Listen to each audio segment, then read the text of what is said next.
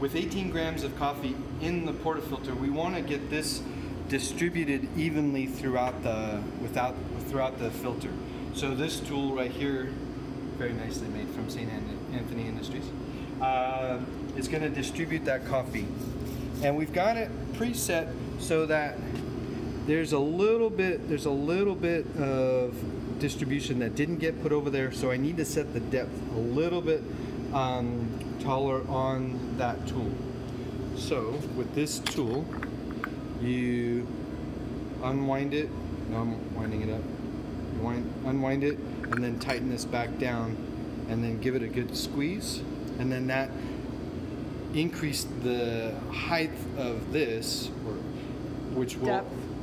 increase the or the depth of distribution and that should have eliminated still a little bit but fairly close when tamping the grounds of coffee you're just setting the tamper on there and really no more force than you would do with your fingers but evenly straight down onto the puck just just enough to feel a little resistance Okay.